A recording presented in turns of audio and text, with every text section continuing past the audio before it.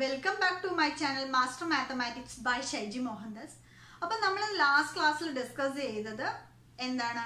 Time and ഡിസ്റ്റൻസിനെ base ചെയ്തുകൊണ്ട് കുറച്ച് കോൺസെപ്റ്റും previous year ക്വസ്റ്റ്യൻസും ഞാൻ ചെയ്തിട്ടുണ്ടായിരുന്നു. രണ്ട് ക്ലാസ്സസ് ഫിനിഷ് ചെയ്തിട്ടുണ്ടായിരുന്നു. ഇത് മൂന്നാമത്തെ ക്ലാസ് ആണ്. അപ്പൊ നമുക്ക് ഇന്ന് വീണ്ടും കുറച്ച് ഇമ്പോർട്ടന്റ് ആയിട്ടുള്ള ക്വസ്റ്റ്യൻസ് നോക്കാം ഓക്കെ നിങ്ങൾ ഈ വീഡിയോ കണ്ടു കഴിഞ്ഞാൽ മാക്സിമം നിങ്ങൾക്ക് ടൈം ആൻഡ് ഡിസ്റ്റൻസിൽ ഏത് പ്രോബ്ലങ്ങൾ വന്നാലും നിങ്ങളുടെ ഡിഗ്രി ലെവൽ എക്സാമിന് ഷുവർ ആയിട്ടും അറ്റൻഡ് ചെയ്യാൻ പറ്റും എന്നുള്ള വിശ്വാസം എനിക്കുണ്ട്. അപ്പോൾ നമുക്ക് നേരെ ക്ലാസ്സിലോട്ട് കിടക്കാം. ഓക്കെ അപ്പോൾ ഞാൻ പിന്നെ കുറച്ച് ഇമ്പോർട്ടന്റ് ആയി ലാസ്റ്റ് മൊമെന്റിൽ നോക്കേണ്ട ടോപ്പിക് ബേസിലുള്ള കുറച്ച് കുറച്ച് ക്വസ്റ്റ്യൻസ് ആണ് ചെയ്യുന്നത്. നിങ്ങൾക്ക് ഇതെല്ലാം ഹെൽപ്ഫുൾ ആണെന്ന് വിചാരിക്കുന്നു. നിങ്ങളുടെ അഭിപ്രായങ്ങൾ ഈ വീഡിയോയ്ക്ക് താഴെ രേഖപ്പെടുത്തണം. എന്നാൽ മാത്രമേ എനിക്ക് കൂടുതൽ വീഡിയോസ് ചെയ്യാനുള്ള ഒരു പ്രേരണ ഉണ്ടാവുകയുള്ളൂ. ഓക്കെ നിങ്ങൾ വീഡിയോ കണ്ടിട്ട് ഒരു കമന്റും ലൈക്കും ചെയ്യാതെ കമന്റ് ചെയ്താൽ മാത്രമേ എനിക്കറിയാം നിങ്ങൾക്ക് എങ്ങനെ എത്രമാത്രം ഈ ക്ലാസ് യൂസ്ഫുൾ ആയി എന്നുള്ളത്. ഓക്കെ അപ്പൊ നമുക്ക് ആദ്യത്തെ ക്വസ്റ്റ്യൻ നോക്കാം. A man covers a fixed distance with the speed 24 kilometre per and returns with the speed speed 36 kilometre per hour. Then the average speed of whole journey already ഞാൻ പറഞ്ഞിട്ടുണ്ടായിരുന്നു രണ്ട് cases അതായത് ഒരാൾ വീട്ടിൽ നിന്ന് ഓഫീസിലേക്ക് പോകാൻ ഇത്ര സ്പീഡിലും അതുപോലെ തന്നെ തിരിച്ച് അവിടുന്ന് വരാൻ വേറെ സ്പീഡിലും ആണെങ്കിൽ ആ ഒരു ജേണിയുടെ ആവറേജ് എന്ന് പറയുന്നത് എങ്ങനെയാന്ന് പറഞ്ഞാൽ ഒരു ഫോർമുല പറഞ്ഞിട്ടുണ്ടായിരുന്നു. അതായത് സ്പീഡ് അതായത് എസ് വണ്ണും എസ് ടു ആണെന്ന് പറഞ്ഞു കഴിഞ്ഞാൽ two S one S two by S one plus S two അപ്പൊ ഇതാണ് ആവറേജ് സ്പീഡ് എന്ന് നിങ്ങൾ ഇത് ഇതിനെ ബേസ് ചെയ്തുകൊണ്ടുള്ള രണ്ട് മൂന്ന് വീഡിയോസ് ചെയ്തിട്ടുണ്ട് കാണാത്തവരുണ്ടെങ്കിൽ പ്ലേലിസ്റ്റിൽ P S C degree level exam എന്നുള്ള പ്ലേലിസ്റ്റിൽ പോയി നോക്കി കഴിഞ്ഞാൽ നിങ്ങൾക്ക് കാണാൻ പറ്റും. ഓക്കെ അപ്പൊ ഇവിടെ എസ് വൺ എന്താ നോക്കൂ? എസ് വൺ എന്ന് പറയുന്നത് twenty four kilometre per hour ആണ്.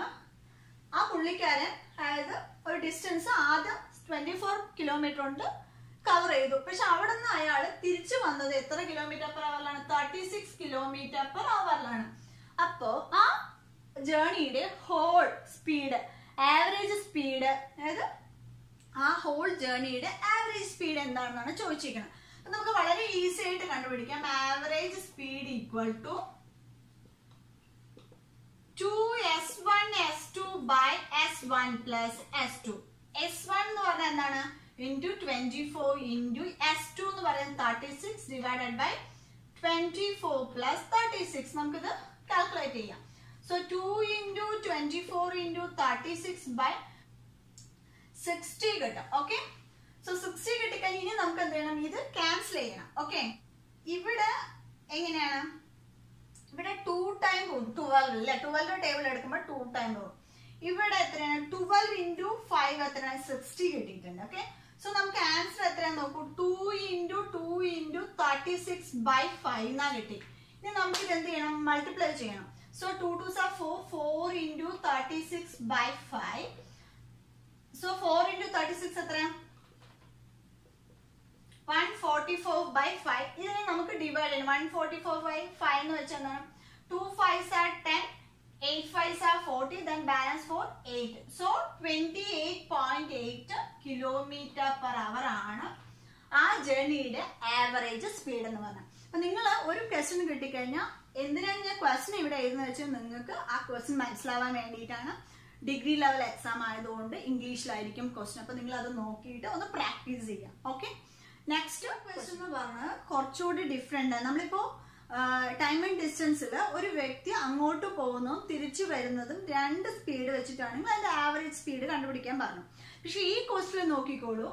Rajan covers three different distance അതായത് മൂന്ന് different distance each of equal length way equal speed of sixty forty sorry six kilometre four kilometre eight kilometre per hour then the average അതായത് അതായത് ഒരേ length അതായത് ഒരേ distance ഉള്ളത് മൂന്ന് different kilometre per അവറിൽ നമ്മൾ എത്തി.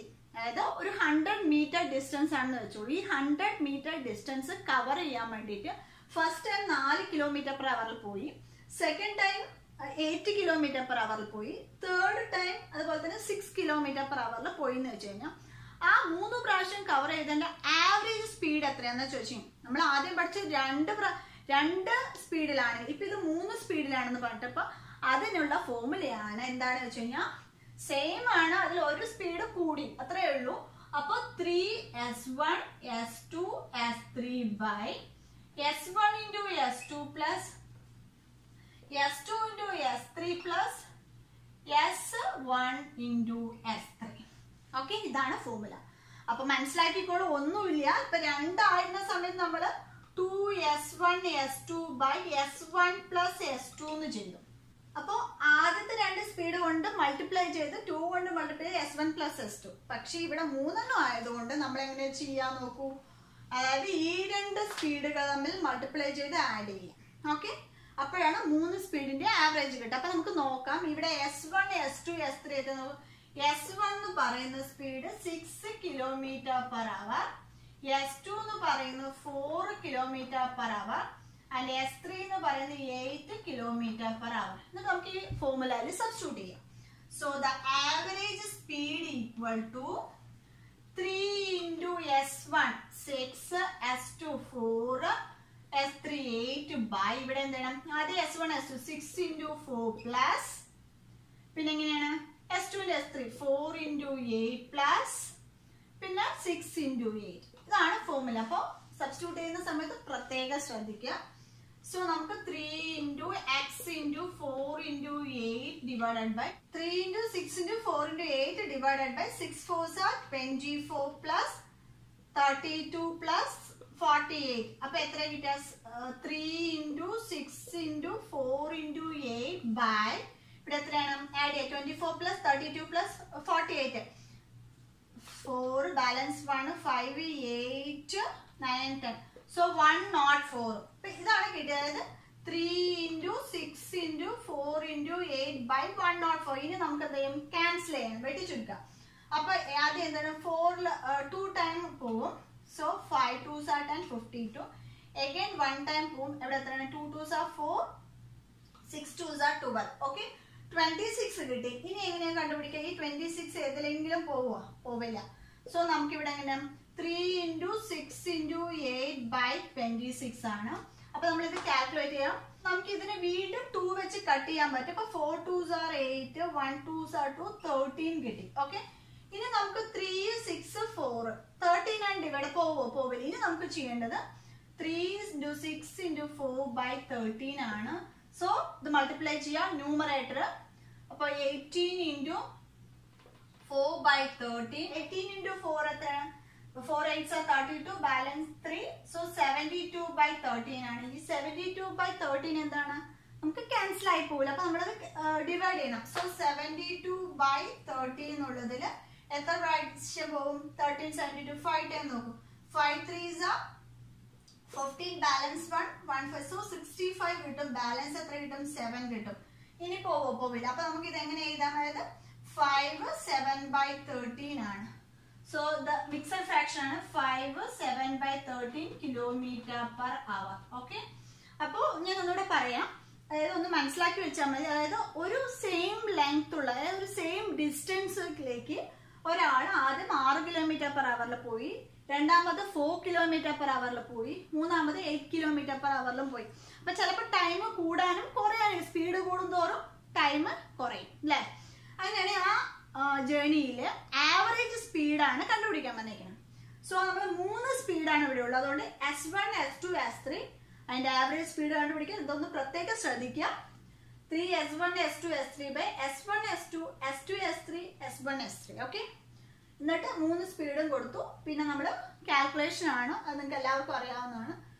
എന്നിട്ട് അവിടെ എത്ര കിട്ടും? സെവന്റി ടു ബൈ തേർട്ടീൻ ആണ്. അതെന്ന് വെച്ച് കഴിഞ്ഞാൽ ഡിവൈഡ് ചെയ്യുന്ന സമയത്ത് five seven by three kilometre per hour ആണ് ഓക്കെ അപ്പൊ നിങ്ങൾ ഇത് ഇതുപോലുള്ള ഒരു പ്രോബ്ലം പ്രാക്ടീസ് ചെയ്ത് നോക്കുന്നത് മനസ്സിലാക്കി വെച്ചാൽ മതി. ഈസി ആയിട്ട് ചെയ്യാൻ പറ്റും ഓക്കെ അപ്പൊ നമുക്ക് നെക്സ്റ്റ് ക്വസ്റ്റിനിലേക്ക് പോവാം. നെക്സ്റ്റ് ഇപ്പോ ട്രെയിനിന്റെ പ്രോബ്ലത്തിൽ ഒരു ഡിഫറെന്റ് മെത്തേഡിലൊരു പ്രോബ്ലമാണ് അതായത് രണ്ട് ട്രെയിനും സെയിം ഡയറക്ഷനിൽ പോയിക്കൊണ്ടിരിക്കുകയാണ്. ഓക്കെ അപ്പൊ രണ്ടിനും രണ്ട് സ്പീഡായിരിക്കും അങ്ങനെയാണെങ്കിൽ അവിടുത്തെ റിലേറ്റീവ് സ്പീഡ് എന്ന് പറയുന്നത് അതായത് സെയിം ഡയറക്ഷൻ അതായത് ഒരേ ഡയറക്ഷനിൽ ഒരു ട്രെയിൻ ഇങ്ങനെ തന്നെ പോകുന്നു മറ്റേ ട്രെയിൻ ഇത് തന്നെ പോകുന്നു. പക്ഷെ ഇതിന്റെ രണ്ടിന്റെയും സ്പീഡ് വ്യത്യാസമാണ്. ഓക്കെ രണ്ടിന്റെയും സ്പീഡ് വ്യത്യാസമാണെങ്കിൽ അതിന്റെ റിലേറ്റീവ് സ്പീഡ് എന്ന് പറയുന്നത് ഒരേ സെയിം ഡയറക്ഷൻ ആണ്. സോ സെയിം ഡയറക്ഷനിൽ പോയിക്കൊണ്ടിരിക്കുന്ന സ്പീഡ് എസ് വണ്ണും എസ് ടു ആണെങ്കിൽ സെയിം ഡയറക്ഷനിലാണെങ്കിൽ അതിന്റെ റിലേറ്റീവ് സ്പീഡ് എന്ന് പറയുന്നത് അതായത് റിലേറ്റീവ് സ്പീഡ് എന്ന് പറയുന്നത് S one minus S two okay relative speed എന്ന് പറയുന്നത് S one minus S two അതായത് രണ്ട് കാര്യം ശ്രദ്ധിക്കാനുണ്ട്. അതായത് രണ്ട് ട്രെയിന് ഒരേ ഡയറക്ഷനിൽ പോയിക്കൊണ്ടിരിക്കുകയാണ്.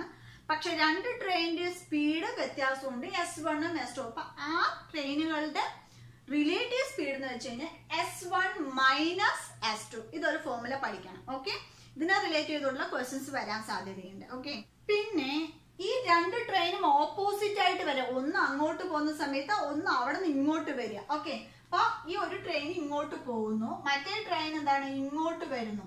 അപ്പോഴും സ്പീഡ് വ്യത്യാസമുണ്ട്. എസ് വണ്ണും S two these are in opposite direction okay രണ്ട് ട്രെയിനും ഓപ്പോസിറ്റ് ഡയറക്ഷനിലാണെങ്കിൽ ഇവിടുത്തെ റിലേറ്റീവ് സ്പീഡ് എന്ന് പറയുന്നത് എന്താണ്? S one plus S two S one plus S two okay അതായത് നിങ്ങൾ പ്രത്യേകം ശ്രദ്ധിച്ച അതായത് ഓപ്പോസിറ്റ് ആകുമ്പോൾ പ്ലസ് ചെയ്യുക സ്പീഡ് തമ്മിൽ അതായത് സെയിം ഡയറക്ഷനിൽ ഒരേ ദിശയിലേക്ക് പൊക്കൊണ്ടിരിക്കുകയാണെങ്കിൽ എന്ത് ചെയ്യണം? മൈനസ് ചെയ്യണം. പക്ഷെ നമ്മളുടെ ചിന്താഗതി എന്താണ്?